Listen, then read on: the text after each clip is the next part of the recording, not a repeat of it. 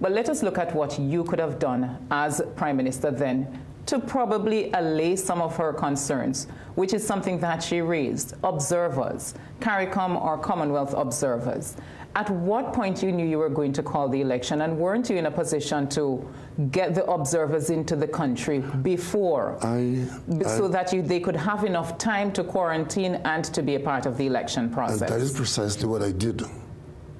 When, when, once the elections were called, once the, the decision was taken to call the election, the elections were called, and I wrote to the Commonwealth Secretariat and I wrote to the the CARICOM? CARICOM Secretariat asking them to um, send, observers. They, they initially indicated, you know, that they would see that, um, you know, that they probably try to get on.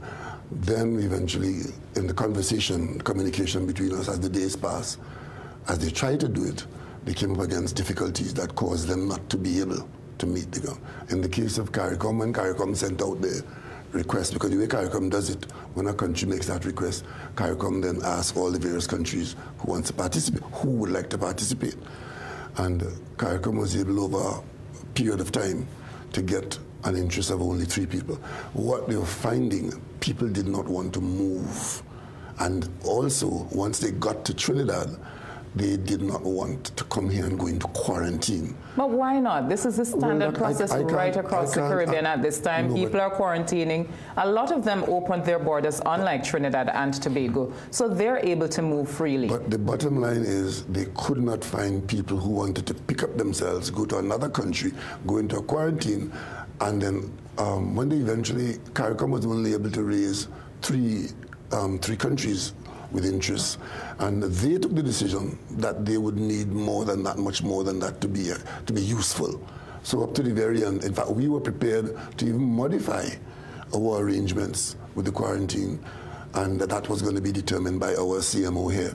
So the 14 day and so on. But in the end, there was nobody. In the case, in the case of the Commonwealth, they, um, after they looked at it, they came up against a financial situation where, and then they, then they told us that the financial requirements um, were not within their remit at the point in time. Somebody, I saw somebody criticizing that, saying that they have money to do these things. I don't know if you're all aware what is happening at the CARICOM Secretariat, at the Commonwealth Secretariat. Um, all the main funders have withdrawn their funding in the context of the leadership of the agency.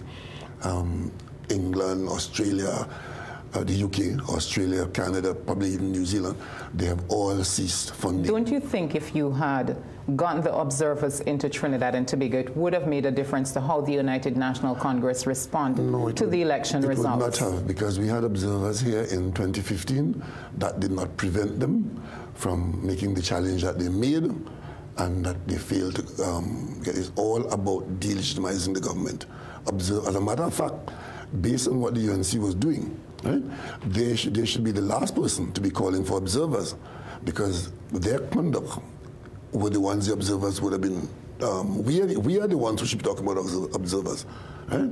You see all those fridge and stove and cash that went out in during the election? We should be calling about it. But we have decided that you know we are going to focus on the people's business, and in fact. But while you make the point of the fridges and stove, why didn't you make a formal complaint to the EBC if you thought that it was trying to influence votes?